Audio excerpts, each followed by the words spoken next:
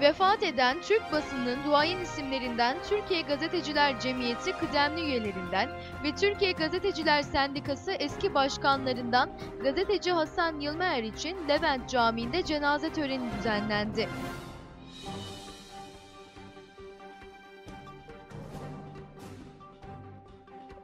Cenaze törenine iş, spor ve medya dünyasından çok sayıda ünlü isim katıldı.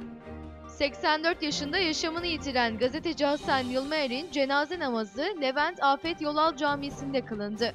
Öğle namazının ardından gerçekleşen cenaze törenine iş, spor ve medya dünyasından çok sayıda ünlü isim katıldı.